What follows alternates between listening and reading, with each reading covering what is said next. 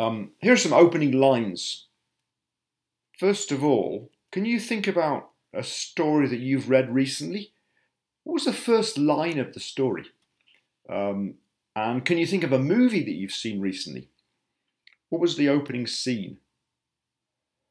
Um, here are some first lines.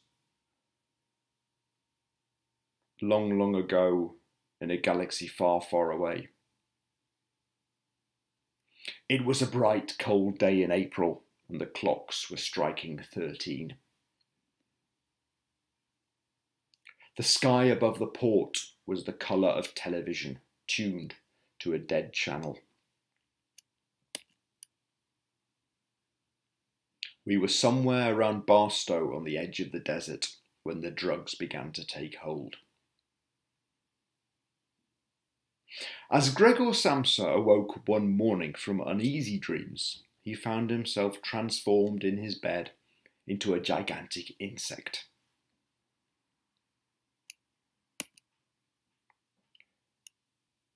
I was born in the year 1632 in the city of York of a good family, though not of that country, my father being a foreigner of Bremen, who settled first at Hull. He got a good estate by merchandise, and leaving off his trade, lived afterward at York, from whence he had married my mother, whose relations were named Robinson, a very good family in that country, and from whom I was called Robinson Kreutznaer.